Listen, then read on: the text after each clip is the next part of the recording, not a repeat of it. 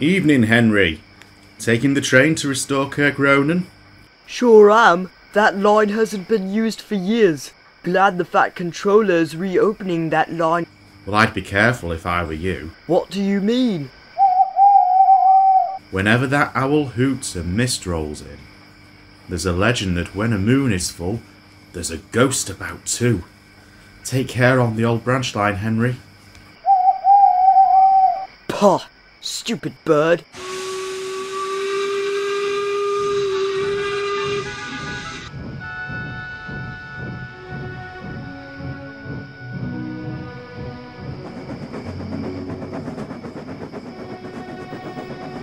Owls, mists, ghosts. Hm. Edward's just going soft in the boiler. But he was wrong.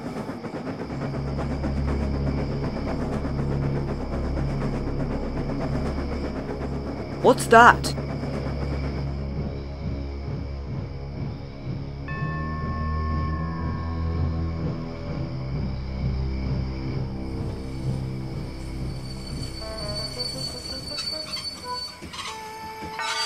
It's an amber lamp. That means proceed with caution.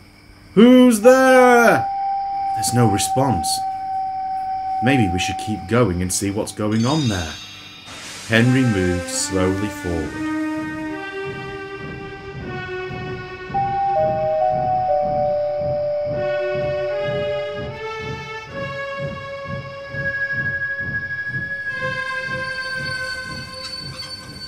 He stopped near a small crossing where he saw an old station, a small shed, and a small harbour. This might be the terminus of the Kirk Ronan line. I bet it is. It looks like it hadn't been used in decades. Those tracks are rusty and overgrown, and a bunch of weeds and grass are growing out. And two fishing boats are still in the port. And look!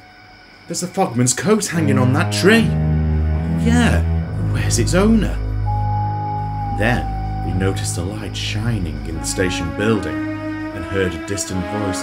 Hello? G-g-g-ghost! Edward was right! There's something strange happening. I suggest we head back. So do I!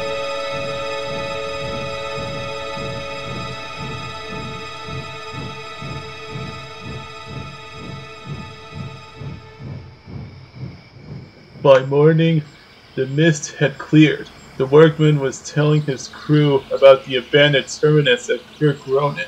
I don't know about you, but I heard rumours about the, about an old engine named Neil, who worked at the Kirk Ronan branch along with his brothers, and brought Skarloey to the Narrowgauge Railway around the 19th century. And he was later put in the small shed by the time the Sodor and Mainland Railway went bankrupt and closed. That's why you left that place last night. Yes, but nobody knows where he is. But I have a theory that he was scrapped and it was somebody inside the station building. Oh dear. Later that afternoon, he spoke to Henry about the terminus. Well, old boy, looks like we're going to have to take our train to the old line tonight. But, but, but I don't really want to. Well, what if there's a ghost again? Well, I don't want to either, but we really have to since everyone else is busy and you're the only engine available. Don't worry, I'm pretty sure there's no one in that terminus but us. Mm. that night, Henry was coupled up to his train and sizzling nicely. Suddenly, an owl hooted, and Gordon Ah! thundered by with the express. Look out Ah! for the ghost, Henry! Oh, look! Henry's spooked! Oh, be quiet! I'm not scared. But he was, as he walked away.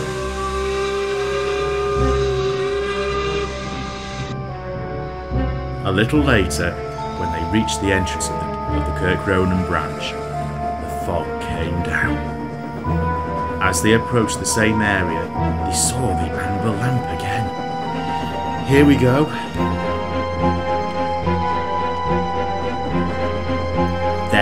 Unbeknownst to Henry, the light in the station building slowly turned on, and a distant voice can be heard again. Hello? The trucks had seen and heard it all, so they were spooked too. Faster, faster! There's a ghost about! Stop! Stop! A mysterious figure watched Henry go by. Ahead was a small dock leading to the end of the line. Henry braked hard, but the truck plunged into the sea.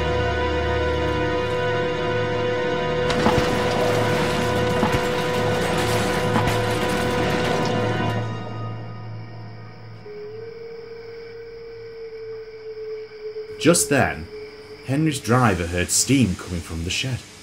What's that? Is it a ghost? Out comes a small 040 Neilson box tank with S&M lettering and number 2 painted on each side and an elderly man on board and Henry's fireman laughed. Why, that's our ghosts. It's old Bailey the fogman and that box engine, Neil. Aye, it's me. So the workmen's rumors are true. I was sleeping in the shed where I was left in many years ago, and I heard a loud splashing coming from outside. What happened? Well, I was taking my train here, and I pushed my trucks down the small docks and into the sea while I was trying to stop when he heard a voice. Oh, that was me. I was hoping someone would come in to take me back in service after all these years when I heard puffing. Yeah. But I've bought the right coal for him and power for the station. But I was warning you about bigger mainline engines speeding in this branch line. The rails can't handle its weight, you know. So that explains why there's an amber lamp in Rolf's castle. We're, we're sorry. We didn't know. Is there any way we can thank you? Well, my grandfather used to own this line, and I like to operate this old station in Dot Oxide. If you'd let me. We promise the knifers won't speak Henry ever again.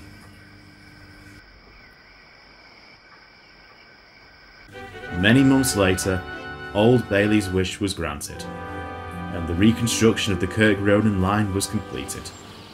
Sir Charles Topham Hatt was holding a grand reopening.